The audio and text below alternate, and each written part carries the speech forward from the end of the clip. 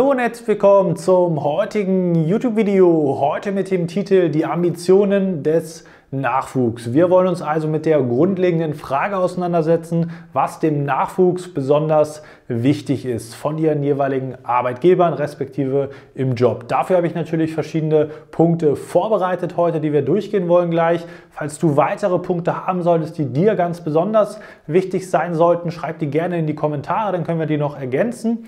Und ansonsten starten wir mit dem ersten Punkt und zwar dem Thema der Perspektive. Nachwuchskräfte, die gerade den Weg der Steuer Steuerberater oder zum Steuerberater diesen Weg einschlagen wollen, die wollen beim Arbeitgeber eine gewisse Perspektive sehen. Das heißt, du willst den Titel ja nicht nur so machen, sondern du willst dann entsprechend auch die Tätigkeit so ausüben können. Das heißt, egal ob im Angestelltenverhältnis, vielleicht eine Partnerschaft, die du anstrebst und weitere Faktoren, die da natürlich eine Rolle spielen, beispielsweise der Aufgabenbereich, der Kompetenzbereich und Gleichzeitig natürlich auch das Finanzielle, was sicherlich auch ein wesentlicher Faktor sein soll. Hast du diese Perspektive bei dem jeweiligen Arbeitgeber? Wenn nicht, dann werden sich die meisten sicherlich schon umorientieren mit dem Titel dann zu einem anderen Arbeitgeber, wenn der aktuelle das vielleicht nicht gewährleisten kann, anbieten kann, möchte oder du diese Perspektive dort eben nicht sehen solltest. Der zweite wichtige Punkt im Arbeitsalltag ist natürlich das Arbeitsklima. Man will so eine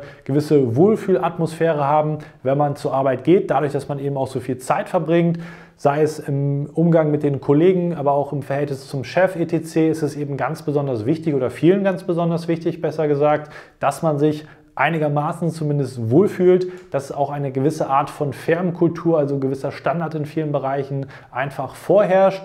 Und das ist eben auch ein ganz wichtiger Aspekt, den viele ähm, ja, als besonders wichtig erachten, wenn es darum geht, den Arbeitsplatz, den Arbeitgeber zu beurteilen bzw. die eigene Situation zu bewerten.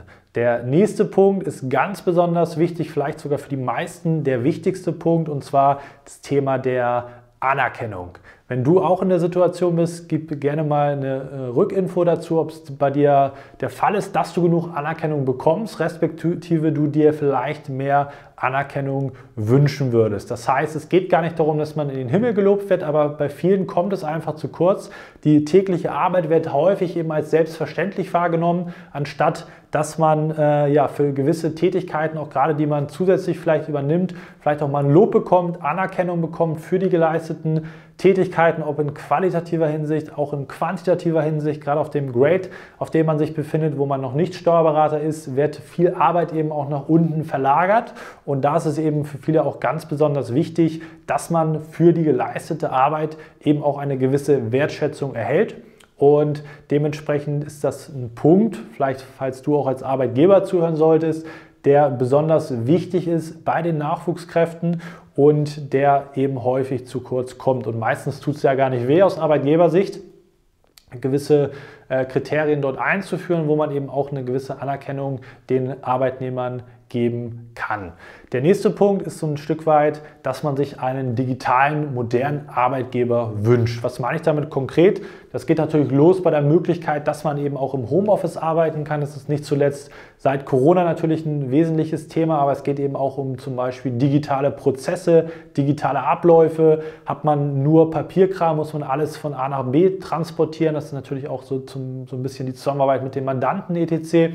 Oder arbeitet man schon quasi komplett papierlos? Ist ja mittlerweile quasi schon möglich, dass man eben alles digital gestalten kann, eben papierlos arbeiten kann, alles zur Verfügung hat, entsprechend eben auch ortsungebunden ist beispielsweise, aber eben auch die Prozesse digital funktionieren. Der nächste Punkt ist auch wichtig und zwar Thema der Verantwortungsübernahme. Wenn du jetzt in der Prüfungsvorbereitung dich befinden solltest, dann ist es so, dass du ja nicht äh, die Prüfung machst und auf einmal jobtechnisch Arbeitnehmer warst, die der Standardtätigkeiten hatte und jetzt sollst du auf einmal in der Praxis die Rolle des Steuerberaters, der Steuerberaterin entsprechend ausüben bzw. bekleiden.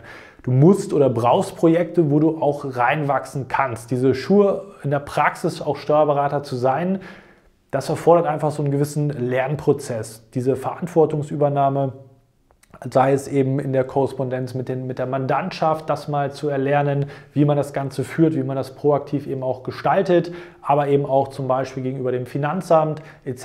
etc.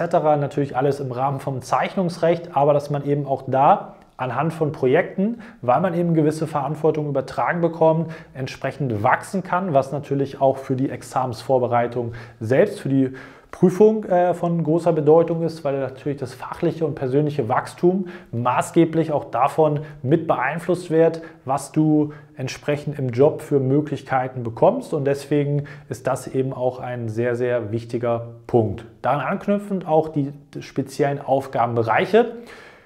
Du willst dich sicherlich auch mal ausprobieren im Rahmen deiner Tätigkeit. Das heißt, du willst sicherlich nicht nur immer die gleichen Standardaufgaben machen, je nach Persönlichkeitstyp so ein Stück weit, aber du willst eben auch mal Aufgabenbereiche kennenlernen, die du vielleicht noch her, bisher noch gar nicht behandelt hast, um überhaupt vielleicht auch mal festzustellen, ob du letztendlich in einem anderen Tätigkeitsbereich vielleicht besonders begabt bist, eine Leidenschaft dafür entwickeln kannst, besonders viel Spaß hast bei der Tätigkeit und so ein bisschen auch rausfinden kannst, was kannst du wirklich gut, wofür brennst du auch inhaltlich.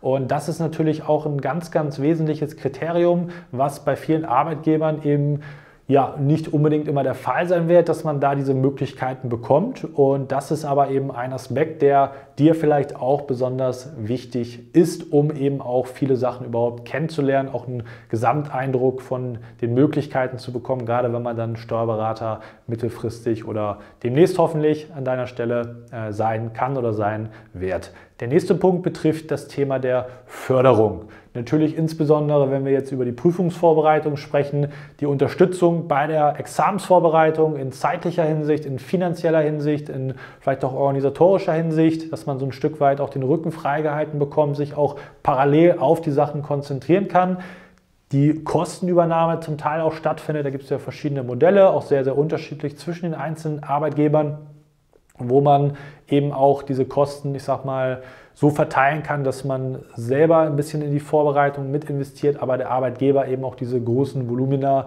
mit stemmen kann, damit man sich eben auch optimal auf das Examen vorbereiten kann. Aber es geht natürlich auch um andere Aspekte, dass man vielleicht mal, wenn man einem das zum Beispiel liegt oder man Interesse daran hat, äh, besondere Fortbildungsmaßnahmen äh, gestellt bekommen. Wie gesagt, gar nicht jetzt fachlich bezogen, sondern zum Beispiel auch im Bereich der Digitalisierung, dass man gewisse Projekte mit übernehmen kann oder vorantreiben kann in der Firma, beim Arbeitgeber, weil man sagt, ich habe da äh, ja Spaß dran, vielleicht auch Prozesse zu optimieren, zu digitalisieren, dass man eben auch da Förderungsmöglichkeiten bekommt, die sich gar nicht nur auf die fachliche Weiterbildung beziehen. Und das ist eben auch ein Zusammenspiel, wo man eben dann wachsen kann, wo man Leidenschaft für entwickeln kann, was jetzt gar nicht unbedingt mit dem Steuerberaterexamen selbst und der fachlichen Ausbildung zu tun haben muss. Und der letzte Punkt, ganz klar, man möchte Steuerberater werden. Wenn du eine entsprechende Nachwuchskraft bis die diesen Weg eingeschlagen hat, dann willst du dieses Ziel auch unbedingt erreichen. Beispielsweise,